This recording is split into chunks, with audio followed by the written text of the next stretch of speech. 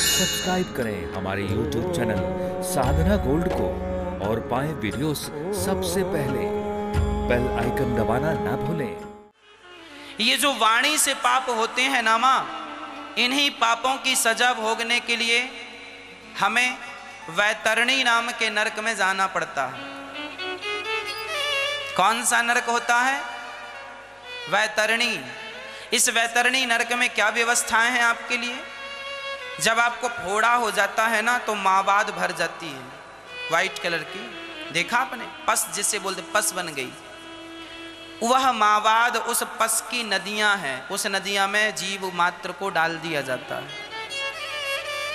आप और हम यदि वाणी से पाप करते हैं, झूठ बोलने का, कपट करने का, छल करने का, झूठ, असत्य और निंदा और चुगली का ये जो पाप हम वाणी से करते हैं, इस पाप के लिए हमें वैतरणी नाम के नरक में जाना पड़ता। आपको क्या लगता, झूठ बोलने में बड़ा मज़ा आता है?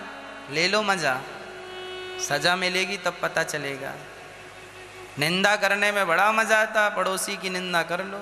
एक एक घंटे दो दो घंटे तीन तीन घंटे। और तीन तीन घंटे निंदा करने के बाद आदमी ये ज़रूर कहता, हमें क्या करना है?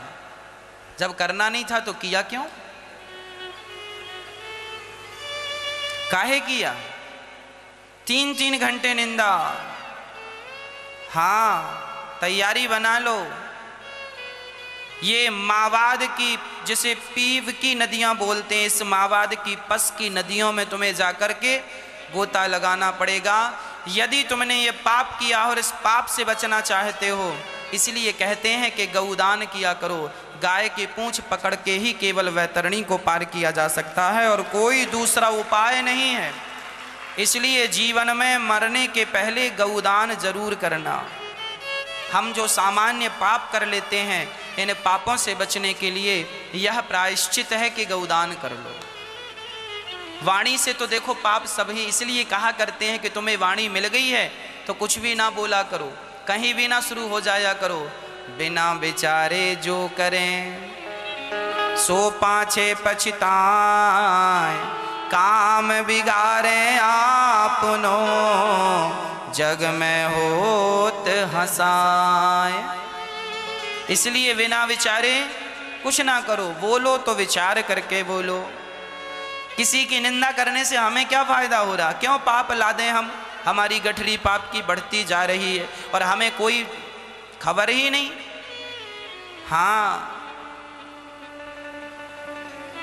इसलिए पाप ना किया करो। मनसा मन से भगवान का स्मरण, वाचा वाणी से भगवान का, भगवत कथा, भगवत नाम। कर्मणा, कर्म भी वही हो, जो भगवान के लिए हों।